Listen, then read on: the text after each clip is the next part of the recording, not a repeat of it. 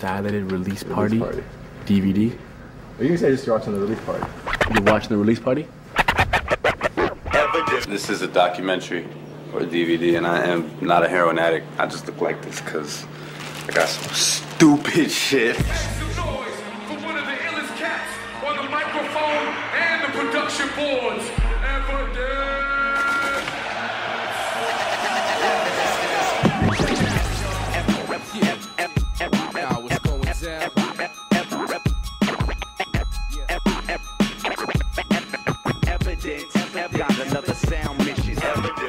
two, three, four, two, two, three, four, three, two, three, four, four, two, three, four. You know, and that's what makes hip hop is always like that constant beat that you can always blend and defines it from other genres. It's the drum.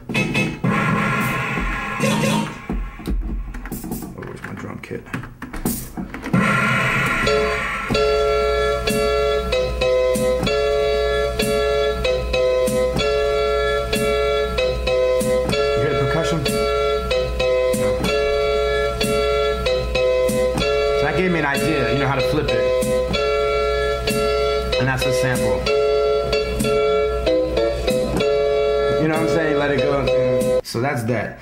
But the loop like that and just the drum.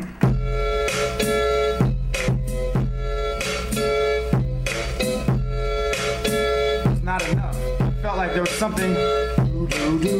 I was hearing that singing because I heard how the record. So I put that in. And I added it to the turnarounds to make it more interesting. right? So every time, so now when the loop's turning, I'm playing that on top of it. Is even disguising the click a little more. You know what I'm saying? So, and that do do do do is.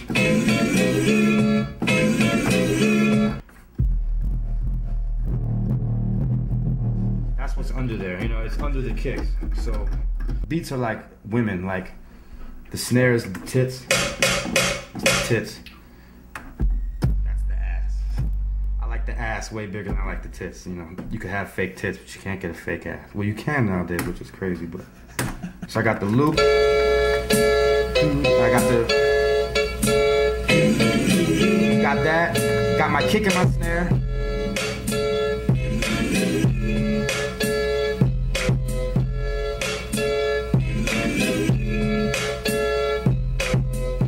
Eight oh eight.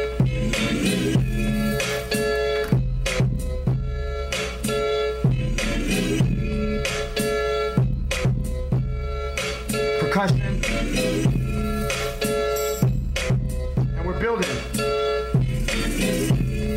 Then I was like, we gotta bring it home now with the concept, which is I heard earlier in the record, don't you take my kindness for weakness, which is something that people have done for Dilated all the time because cats are well spoken or carry themselves in a certain fashion. People feel like they could take advantage of you, but you know, so be it. But at a certain point, you gotta let people know, you know, how you feel.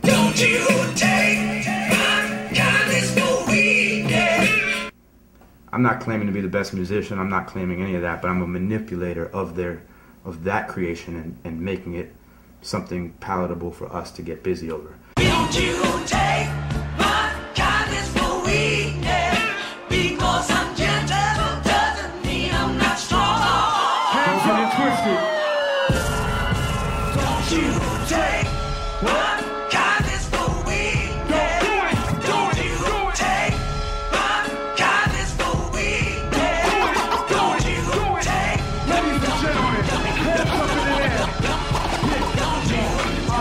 Right but usually a calm individual. All with the couch, my lawyer's another criminal. That work with army, street wars are critical. Revolutionary, so streets are more livable. Fuck what your ego say. Don't take shit for granted, homie. We don't play. All's fair in love and war, peace and cake. But beef is rare like a bloody goose steak. Take your eyes off the quiet ones, the silent ones with the assassin smile, the most violent. Straight into the bleeding, crying, perspiring, and gun range firing. Wrong side, that's the wrong idea. Untangle it, we can get it on right here. Never back to broke, you get tapped and choke. I might smile, but I ain't no joke. Sing that shit.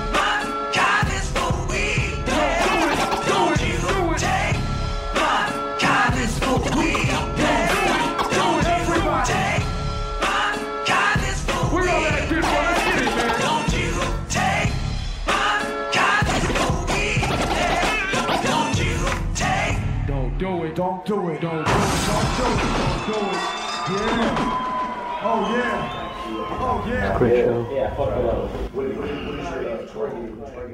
I would memorize like the message, and like I'd kick it for my great grandmother, rest in peace. And, and they didn't know what the hell I was doing. They'd they'd be like, Michael keeps telling these stories. He's telling these stories. Tell that story again. And I just tell them the story again, you know. And they just everyone loved it. They'd all huddle around me, and I would just tell these stories. But I was really just rapping lyrics that I memorized. I didn't really even really put it together as part of a bigger culture or anything until maybe Run DMC's first album or something. I heard some cats in the schoolyard. I was like in maybe fifth grade or something, fourth or fifth grade.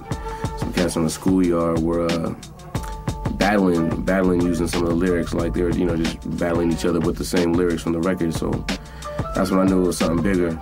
And the reason I was so attracted to it was because I was actually seeing that directly around me. I saw graffiti around me. I saw the breakdancers. It wasn't something like if you were living in Kansas or something you had never heard of and seen this phenomenon. Like I understood it already because it was in my immediate area. Um, so it's just been around me forever, as long as I can remember. You know, There's a radio station in LA called 1580 K-Day at the time. Uh, it was an AM radio station, and they they had basically had radio on lock at the time, man. They they had hip hop. They were they were like the the other side of the bridge for LA hip hop. A bridge got to have two sides, and they were the LA side, man. And basically, that was the way that LA really got hip to hip hop culture, not just a couple songs. I think was through the music that came through K-Day.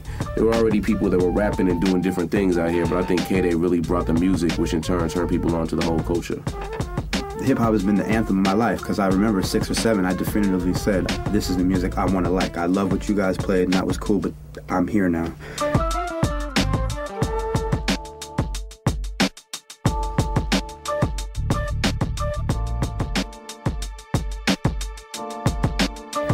Originally, I wanted to rap with someone who kind of looked like me, because then we we have some thing. But white rappers at the time that just didn't happen. So I met Raka, and you know he was five years older than me. Everything in the world said we shouldn't do this, but I remember distinctively when we went into the hip hop shop. I liked the way he rhymed one, and then two.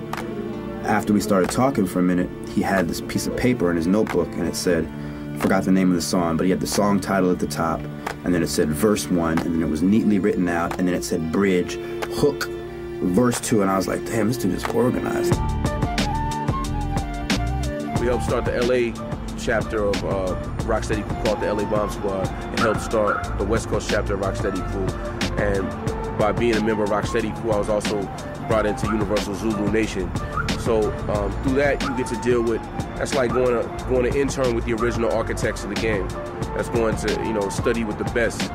And I think that that's that's how I wanted to do it. They're bumping some. They're bumping a little bit of slow jams right now. Ah, ah, what's that? Some, some blue magic? Who is that? Ah,